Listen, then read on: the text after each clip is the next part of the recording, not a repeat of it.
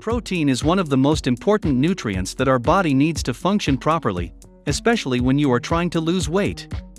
This essential nutrient helps keep you full and satisfied for a longer period of time, and also help build lean muscle mass and reduce body fat, especially around the belly.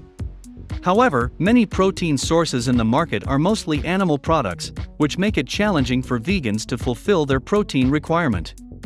Studies show that people on vegetarian or vegan diets which often rely on plant protein, are at a lower risk of certain diseases including cancers, type 2 diabetes, hypertension, obesity, and ischemic heart disease.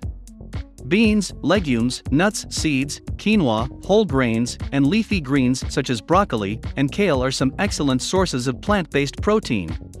Plus, they often come with fewer calories and fewer potentially harmful effects than animal products.